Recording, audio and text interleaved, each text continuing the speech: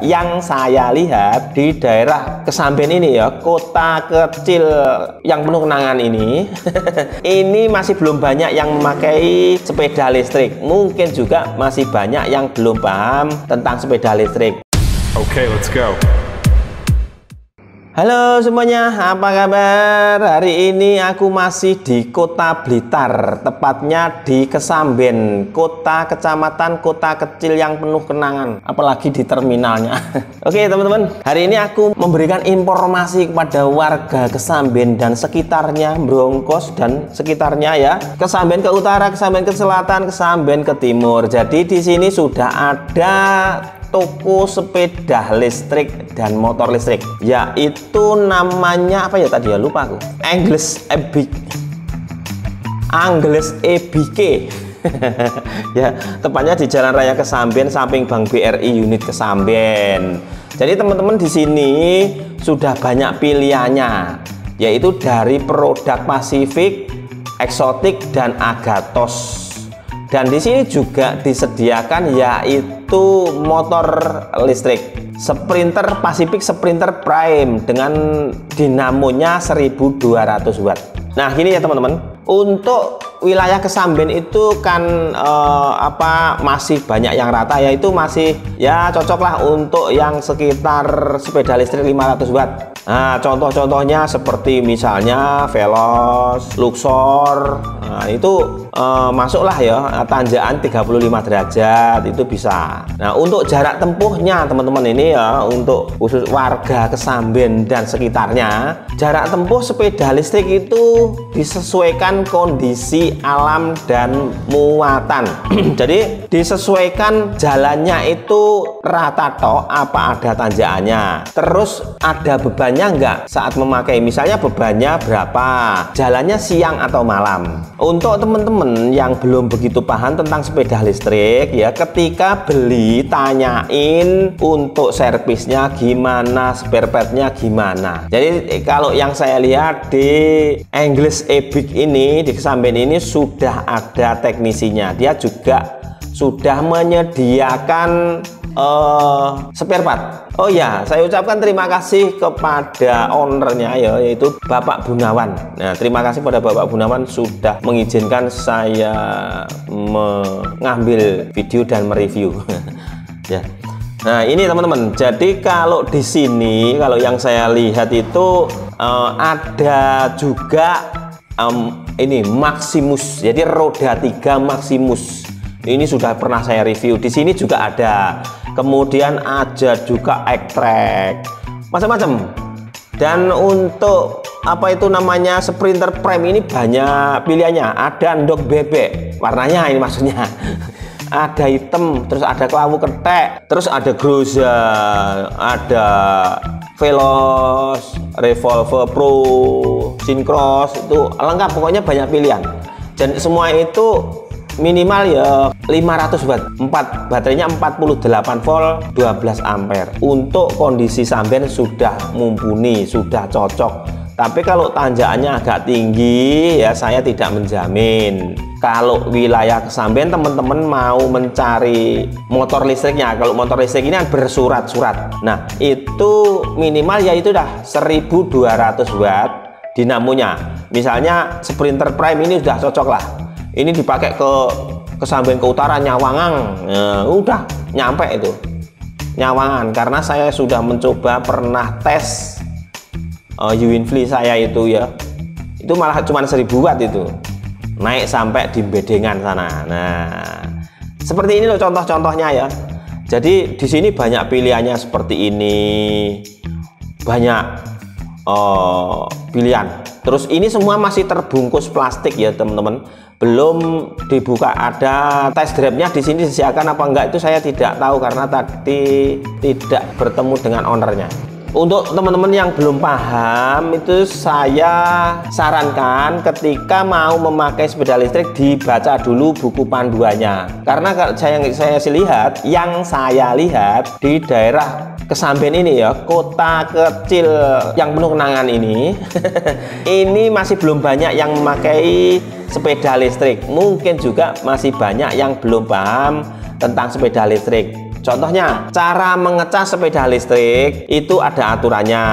Jangan misalnya uh, Lexus eh apa Lexus Veloz uh, Veloz itu ngecasnya bagaimana? Misalnya 4 jam penuhnya dari nol seperti itu.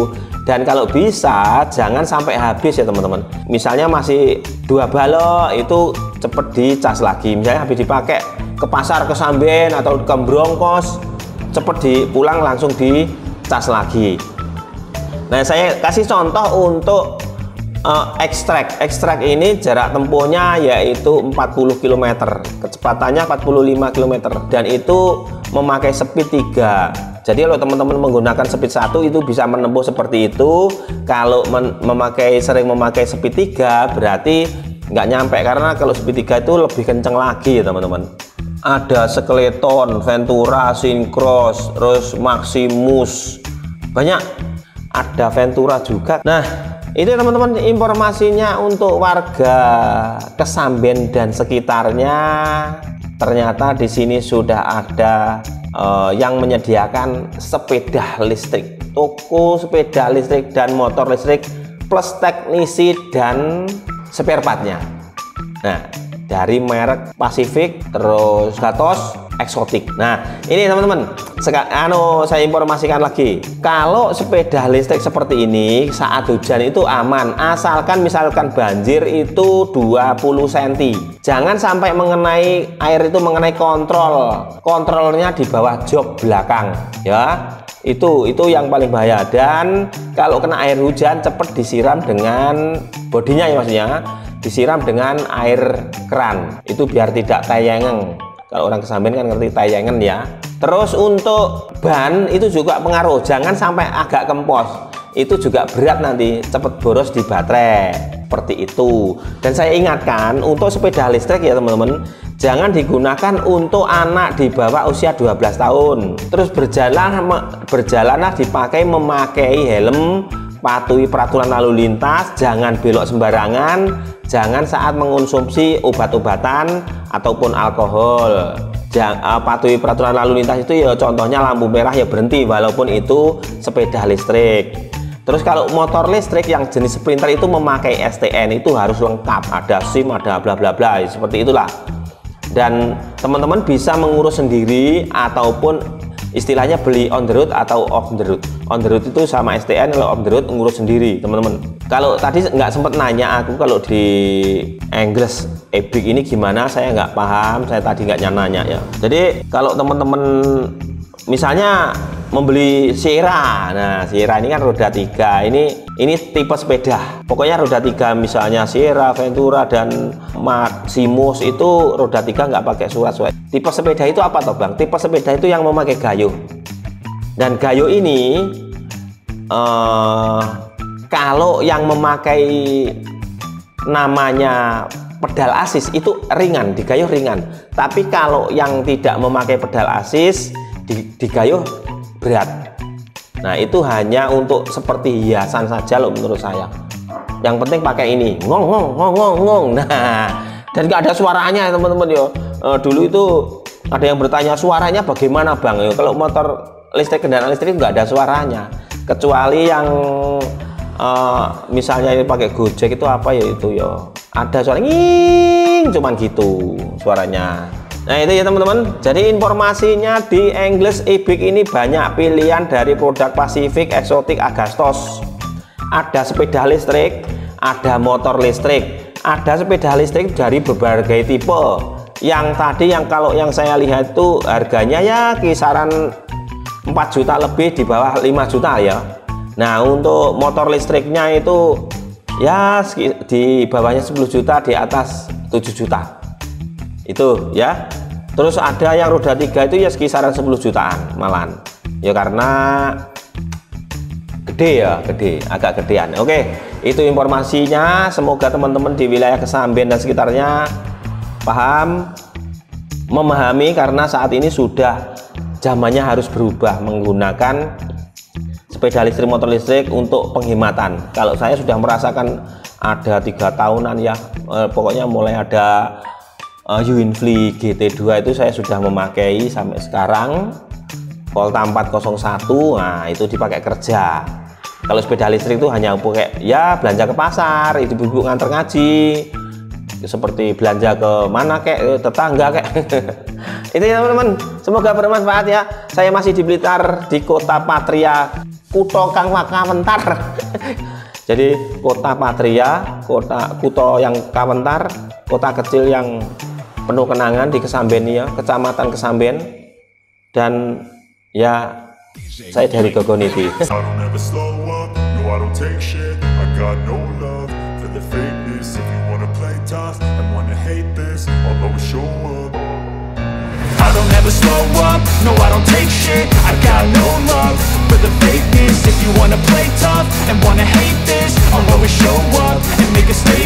I don't ever slow up, no I don't take shit. I got no love for the fakeness If you wanna play tough and wanna hate this I'll always show up and make a statement. Everything I do so instinctive and so passionate. Every word I move so descriptive like an adjective. I got a vendetta against people who patented Being negative when you should be getting after it.